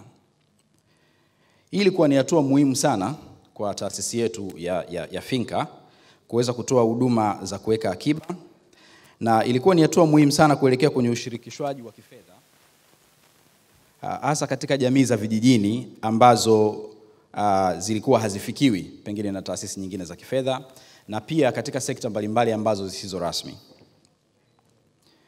Benki yetu ya Finka inatoa huduma zake kwa kupitia mifumo mingi sana ya kidigitali na hii ni katika kufikia lengo lake la kupanua ushirikishwaji wa kifedha katika nchi yetu ya Tanzania kwa kutumia simu za mikononi, kwa kutumia mawakala mbalimbali mbali, pamoja na mifumo mingine ya kiteknolojia ambayo inatuwezesha kuweza kuwafikia watu wengi kwa muda mfupi.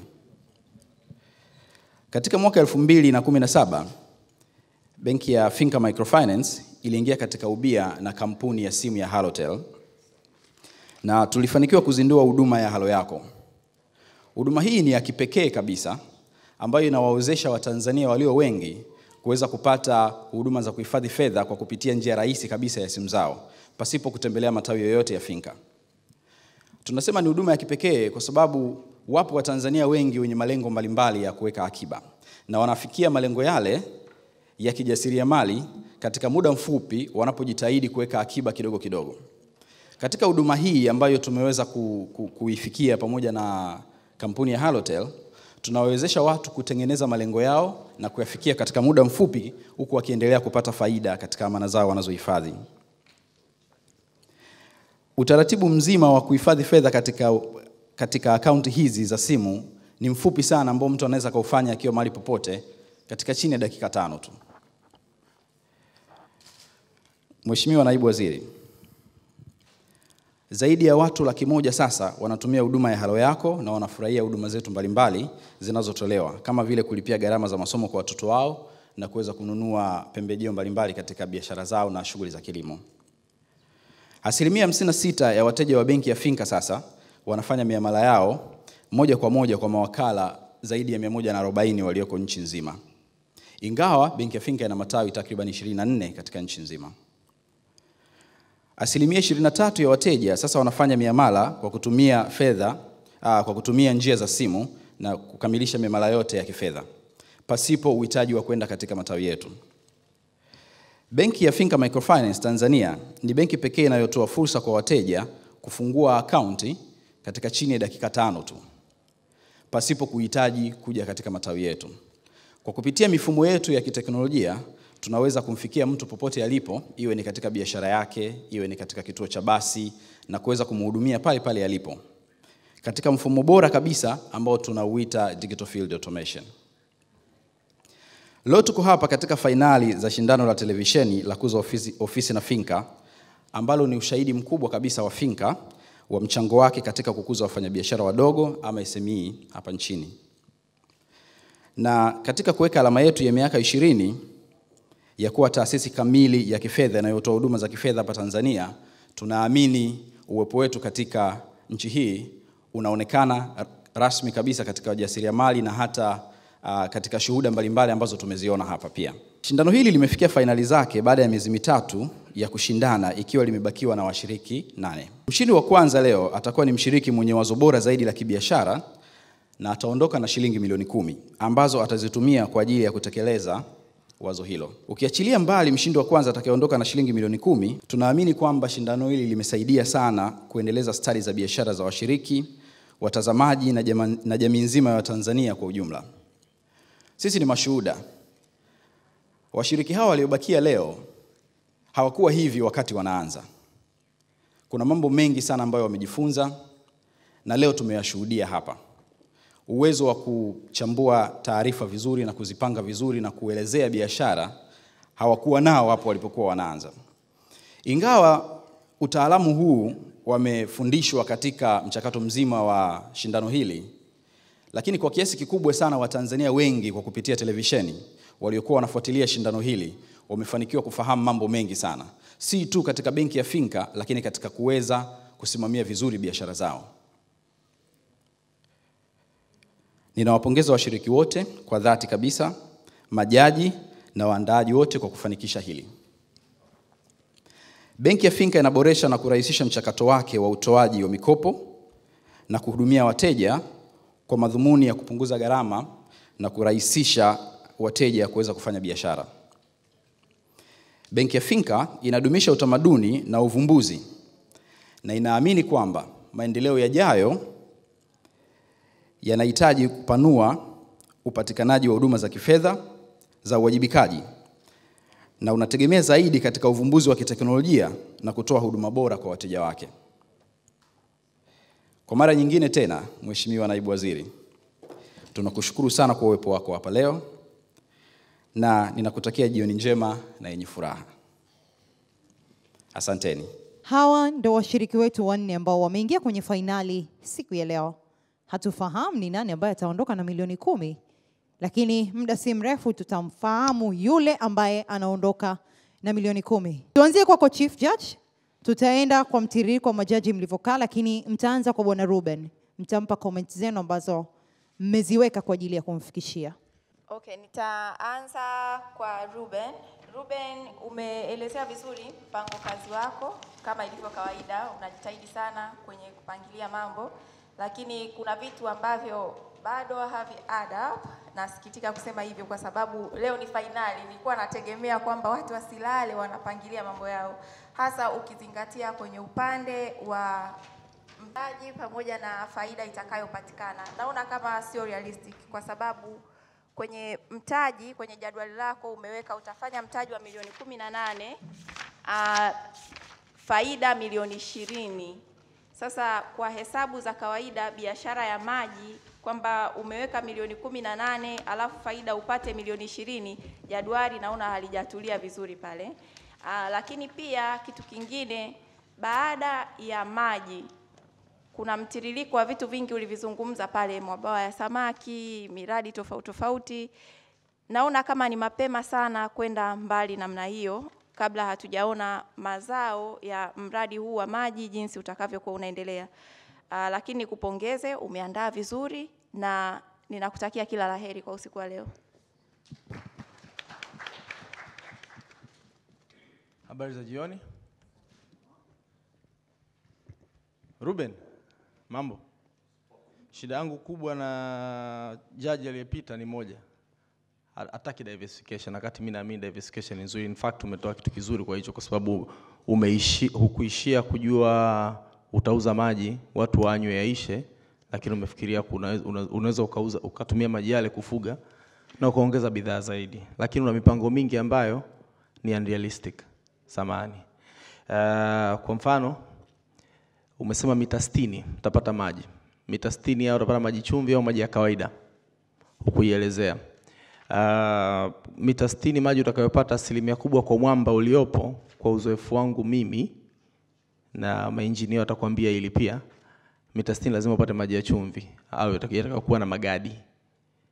Sijajua hiyo changamoto na vipi, kama huja kwenye plani yako sioni treatment plan yoyote ya maji. Uh, presentation yako ni nzuri, plani yako ni nzuri, maji kila binadamu anaishi anahitaji. Eh, lakini I think you need more numbers ziweze ku add kama jaji aliyepita alivyosema. Otherwise umependeza na suti yako. Judge Specials umeweza kumsikiliza. Niliwaambia hapo awali, ni mtu anayejua kila kitu. Tutaweza kujua hapa leo inakuwaje. Judge Gloria pia niliwaambia sifa yake, anapenda facts. Kama mbili basi mbili, na mbili ikiwa hivi itakuwa tatu. Nilisema hapo awali na mmeweza kumsikiliza. Jaji anayefuata Mimi nadhani majaji waliobaki tunawasogeza katika mshiriki wa pili. Kwa hiyo majaji wawili watapewa fursa ya kutoa comment kwa mshiriki mmoja. Mshiriki wetu wa pili ni Bugingo Emmanuel na majaji wetu waliobaki ni Bi Catherine pamoja na Nicholas. Mna fursa sasa ya kumwambia yale ambayo mlitaka kumwambia Bugingo baada ya kutoa mpango wa biashara wake. ya biashara yoyote anayejiamini, yani hatua zake huwa ni za haraka haraka. Kingine, business plan yako, nimependa ulivyo, yani ulivyotuletea makabrasha yako, yani kila kitu kinavutia, Yani lakini yeah, I love the cover. Content. Lakini leo umeongea maneno mengi. Mara nyingi ukiongeaga na kuelewa, lakini leo maneno yalikuwa mengi kiasi kwamba najaribu kushika hapa anasema nini, hapa anasema nini, mpaka ikabidi niingie ndani. Bugingo, mambo vipi? Uh, upendeza sana na suti yako leo, na labda ni- nigusie tena kwamba kwa mtu ambaye akuona mara ya kwanza mnavyoanza akiona leo, anajua kabisa kweli kwamba kuna mabadiliko makubwa, sio tu kwenye uvaaji wenu, lakini pia kwenye content ya kitu ambacho mmesema leo. Uh, presentation yako ni nzuri sana, nimependa kasha lako li- linaonekana uli- ulitumia muda kufikiria ufanye nini. That's a plus pia umeonyesha confidence. Najua wanasema kwamba umeongea maneno mengi, lakini kuna muda ambao unapokuwa unamwelezea mtu biashara ambao haielewi, mara nyingi ni vizuri ukamwelezea ukampa information nyingi zaidi kuliko kumpa kidogo kuliko unavyohitaji. Watanzania wengi tumezoea kufuga kuku, sijui kilimo cha, cha nini umeelewa. Kwa kama ni idea ya biashara mpya, na uhakika wengi ambao wamefaidika nayo, na ni biashara nyingi sana. Biashara yako ni watu wengi sana wamekuwa wakiuliza ikoje, inafanyaje kazi, kwa ni kitu kizuri, lakini um, sijaelewa kitu moja, na hii kitu nimeona kwa wengi mlio present leo ni kwamba mnaongea kama vile hamna mtaji kabisa. Mimi nitegemea kwamba utasema kwamba unahitaji milioni kumi na tatu katika biashara yako sasa hivi una kiasi fulani na hizi milioni kumi zitakusaidia kuongezeka hapa na hapa, lakini otherwise niseme kwamba umefanya vizuri leo. Nimependa presentation yako na kila la heri. Hao ndio majaji wetu wamezungumza comment zao. Tuamie katika mshiriki wa tatu ambaye huyu ni Agata, lakini tumpe fursa Judge Gloria pamoja na Judge Special kutoa comment kwa upande wa Agata. Asante. Mambo Agata, nafurahi nikikuona unatabasamu. Kwanza nikupongeze. Uh, nafikiri pia watu wengine leo wamepata fursa ya kupata stori yako ya kuto kukata tamaa. Kwa hiyo nikupongeze kwa hilo kwamba ulikuwa na biashara ikapita bomoa bomoa, imesomba biashara, lakini haukuishia hapo, ukanyanyuka tena ukaendelea kufanya biashara. Uh, kwenye shindano hili tumekuona Agata ukikua na kwenye mpango kazi wako ninaona kwamba ni kitu ambacho kinaweza kutekelezeka. Kwa hiyo hicho ndio kikubwa ambacho nimekichukua kwenye mpango kazi wako hapa. Nikiangalia namba zako, nikiangalia mpango wako, ni kitu ambacho kinatekelezeka. Kwa hiyo nafurahi sana na ninakutakia kila la heri, lakini katika huko kutekeleza sasa, sidhani kama umejiandaa kwamba kwa mtaji huu lazima utahitaji watu wengi zaidi kama ukifanikiwa kushinda, na pia utahitaji skills zaidi, kwa maana ya elimu zaidi ya kuweza kukaa na watu, kuangalia biashara na kumanage mambo mengine ambayo yatatokana na biashara kuwa kubwa, kwa sababu biashara ya chakula inakuhitaji kwa ajili ya kuangalia quality na usafi, lakini pia inakuhitaji kwa kuangalia watu wanafanya kazi namna gani. Kwa hiyo ujitahidi kwenye mpango kazi wako. Nilitarajia nione vitu hivyo, lakini sikuviona. Ukifanikiwa kushinda, uvijumlishe hivyo. Kwa hiyo nikutakie kila la heri usiku Agata. Agata, habari yako? Uh, siku zote huwa na, na, na, na, nasemaga mtu yoyote anayefanya biashara ya chakula, mavazi na malazi akifanya kwa akili na utashi, akifeli akapiga magoti amwombe Mungu msamaha. Uh, ukiangalia ulikotoka, I think it's a plus. Ukiangalia changamoto ulizozipitia, napenda kuamini ulizi- ulizi, ulizivuka kwa kutumia akili na utashi. Uh, nachokiona kikubwa kwenye biashara yako ni jinsi gani utakavyofikia watu. Umesema vizuri kwamba utatumia social media Facebook, Instagram. Huko tayari kuna watu wengi sana pia. Sijajua utakavyojitofautisha biashara yako wewe na watu wengine ambacho hujakiainisha huku ndani, kwa sababu eh, what value are you adding kwenye, kwenye biashara yako ambayo itaufanya wewe tofauti na biashara za watu wengine za upishi. Nadhani wakati tunaongea nyuma, nilikuwa nakwambia lazima kuwa kuna utofauti siku zote. Leo utaweka matikiti, kipindi kile ulituwekea yale makopo yako yalikuwa yana, ya rangi za njano na bluu, nikakukatalia. Lakini anyways, uh, all I'm trying to say is ni vizuri sana ukaangalia utofauti wa biashara yako, chakula unachokitengeneza wewe utakapeleka kwa watu wengine. Angalia wale watu wengi ambao wamefanikiwa kwenye biashara ya chakula, ni utofauti gani ambao walionao wa kule. Uh, Judge Nico alisema mwanzoni, nyie wote mmeongea kama hamna, mwenye, hamna mtaji. Tayari pale una mtaji, hujatuambia una build up vipi kutoka kwenye ule mtaji ulionao kupeleka mbele. Sikusikia plani yoyote ya reservation ya, chaku, ya ma, ma, vile mahitaji yako, sijaviona vyote hivyo kwenye plani yako, kwamba either umepanga vipi kuandaa utafutaji wa kile chakula na kukitunza kiasi gani ili kiweze kukupunguzia gharama ya production na gharama ya, ya, ya mauzo pia. Nadhani ni hivyo kwa kutoka kwangu. Nikupe max baba. Nimependa, nimependa business plan yako. Washiriki wengine wameandaa za kwao kutokana na biashara ambazo wanazifanya kila siku, lakini wewe ulienda extra miles ukaongelea biashara ya vipuli, na ndani ya huu mpango biashara wako Unafikiri natakiwa nishukuru? That's what I was trying to say, Jeff. na huu ndani mi nimesoma nime, yani nimeelewa vitu vingi sana, lakini inabidi urudi umshukuru Judge Jeff, manake yeye ndo mwanzoni alikupa hii idea na jinsi ulivyoelezea, yani umeelezea vizuri sana, lakini kuna kitu naona umeyafanyia kazi nani, maelekezo ya Jeff ya kwangu hujayafanyia kazi. Kila siku na, una, kwenye biashara yako unaongeaga unasema hii biashara sitaki iniingizie hela kubwa. Sio mara ya kwanza, unakumbuka last time ulirudia hivyo ukasema, yani nitaiweka hapo pembeni kwa ajili tu ya hela kidogo kwa siku. Hutakiwi kuinvest, yani hutakiwi kuingiza hela yako na, kwa, na, me, na fikra kwamba sitaki niingizie hela nyingi. Yani unapo invest hela yako kwenye biashara unatakiwa uwaze hela, yani usiseme utaki hela Asante. Um, Sadiki, kikubwa ambacho mimi nisingependa kuongea vitu vingi sana ambavyo nadhani watu wengi wameshasema, lakini kikubwa ambacho mimi nataka nikwambie ni kwamba umebadilisha mtazamo wangu nilichokuwa nafikiria kuhusiana na biashara yako. Mara ya kwanza mawazo yangu nilikuwa ni kwamba milioni kumi na biashara yako unazifanyia nini? Je, pengine ni pesa ambazo hazi- hazihitaji uzihitaji lakini umeonyesha kwamba umeweza ku, ku diversify na una, una mpango kazi ambao ni mzuri, na kama uh, wenzako madereva wengine na bodaboda watakusapoti kwenye biashara zako kama wanavyokusapoti kukupigia kura, then na uhakika kwamba baada ya mwaka mmoja pengine kuza ofisi wewe ndio utampa mtu mshindi zawadi. Kila la heri. Asanteni sana majaji wetu, lakini washiriki, niwaambie hapo mlipo, hamuondoki mpaka tumjue mshindi wa kuondoka na milioni moja siku ya leo.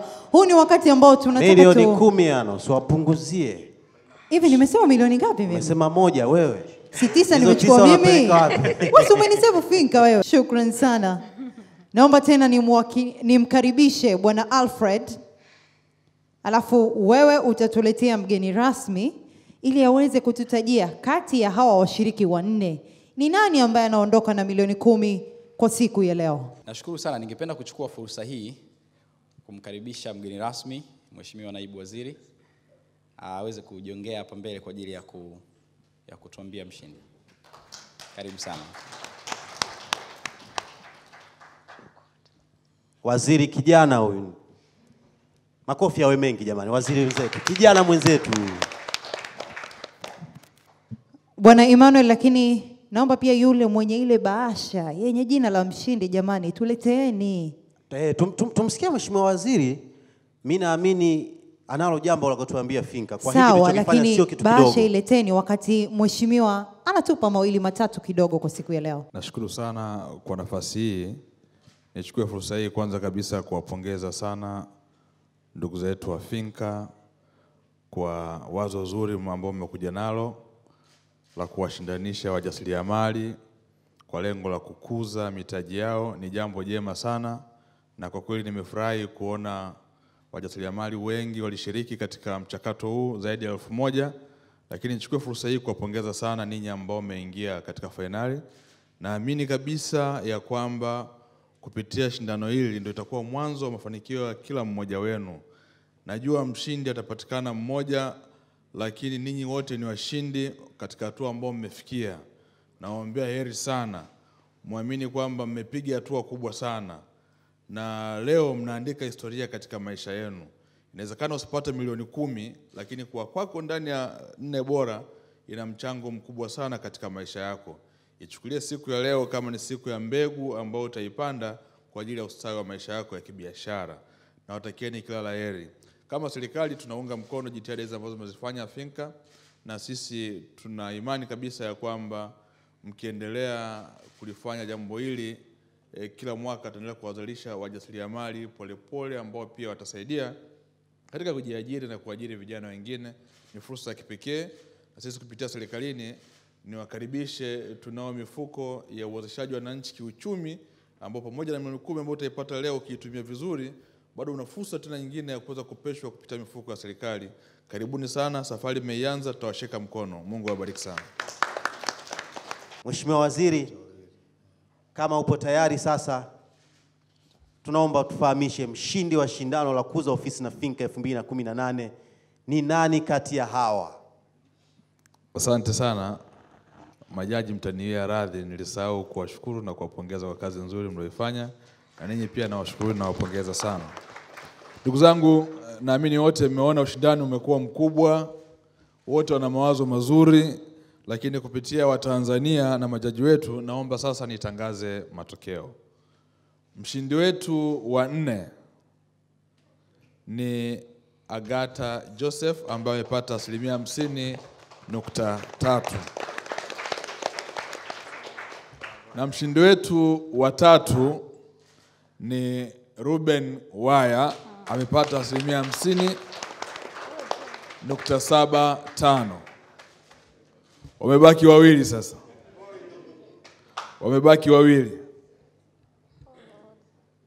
Mshindi wetu wa pili ni ndugu Sadik Hasani, amepata asilimia sitini na mbili nukta sita. Mshindi wetu jioni ya leo ambaye yeye anakwenda kujinyakulia kitita cha shilingi milioni kumi ni ndugu Bugingo Emmanuel aliyepata asilimia sitini na mbili nukta saba. Mtazamaji, kama ambavyo unaweza kushuhudia leo hii, Bugingo Emmanuel ndiye mshindi wa shindano la kuuza ofisi na Finka 2018 kwa kile ambacho amekionyesha kuanzia ile siku ya kwanza mpaka kufikia hii leo. Kura za Watanzania pia yale ambayo majaji wameweza kuamua yamemwezesha Bugingo Emmanuel kuwa mshindi wa kitita cha shilingi milioni kumi siku ya leo. Uh, tutamkabidhi Bwana Bugingo, lakini katika jambo ambalo najua wengi tulikuwa tulifahamu ni kwamba pia washindi wengine pia hatuwaachi mikono mitupu, na wao pia kuna zawadi ambazo tumewaandalia, lakini kwa sasa tumkabidhi mshindi wetu wa kwanza wa fainali ya kwanza kabisa ya kuuza ofisi na Finka siku ya leo, ambaye anapata milioni kumi. Jamani, shangwe kidogo kwake.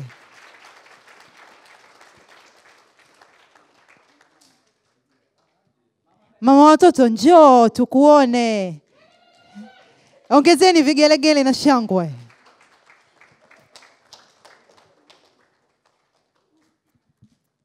Huyo ndo ubavu wa bwana Bugingo. Bugingo macho anayo. Eh. Na ameona vizuri kweli, ila angechelewa ningekuwa mimi hapo. Kwa hiyo milioni kumi leo leo ningesema yes I do. Basi Bugingo ameshapokea zawadi yake ya milioni kumi, lakini tunaomba ile zawadi ya mshindi wa pili iweze kuja hapa juu ili naye apate kukabidhiwa. Mnaiona namba zilizoandikwa eh? Eh. Huyu ni bwana Sadiki Hassan. Kwani Ima, mama watoto wa Sadiki yuko wapi? Au bado single? Sadiki Mi nataka kujiweka kama bado single. yupo. Ah, basi aje haraka kabla sijafanya yangu. Huyo ni mshindi katika nafasi ya pili. Nafasi ya tatu inaenda kwa Ruben Waya. Ruben Waya, nawe pia kuna nae, zawadi yako. Ki, kiasi hiki ni milioni tatu. Kumbuka mshindi wa pili yeye amejishindia kiasi cha shilingi milioni tano. Ruben Waya mshindi wa tatu, zawadi yake ni shilingi milioni tatu. Lakini bado nitoe pongezi za dhati kwa washiriki wote wanne. Nyie wote ni washindi kwa sababu mlichokifanya ni kikubwa sana mpaka kuweza kufika siku ya leo. Shukran sana kwa wageni walikuwa wote ambao mmekuja siku ya leo, kwa mgeni rasmi wetu pamoja na kwa bwana Alfred. Kwa sasa hivi mgeni rasmi na bwana Alfred ni waruhusu mrudi katika siti zenu mkapate kukaa, lakini pia wageni waalikwa msiondoke bado kuna mambo mengi sana ambayo inahitajika kuendelea siku ya leo.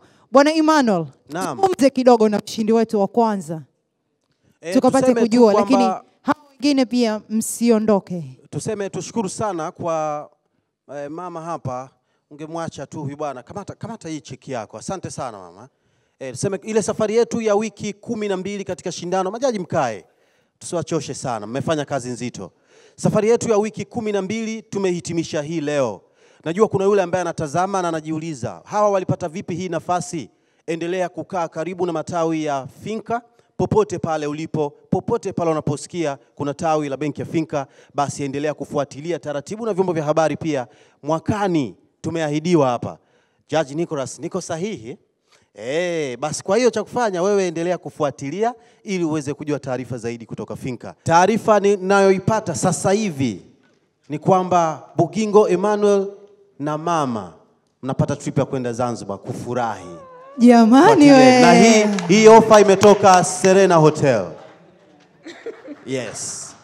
Asanteni sana kwa wale wote ambao tumeanza pamoja shindano hili mpaka kufikia siku ya leo.